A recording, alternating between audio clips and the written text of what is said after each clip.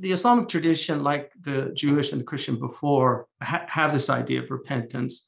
Um, the the in uh, the Greek uh, New Testament word metanoia is a beautiful word because it's really uh, you know the idea of transforming the mind, changing the mind. Uh, in Arabic, it's the idea of turning, and and so there's there's this idea that the heart turns towards disobedience and then it has to turn back towards obedience, and so that that turning the, one of the names of god is tawab in arabic which means the off turning the one who turns back when you turn to god god turns to you.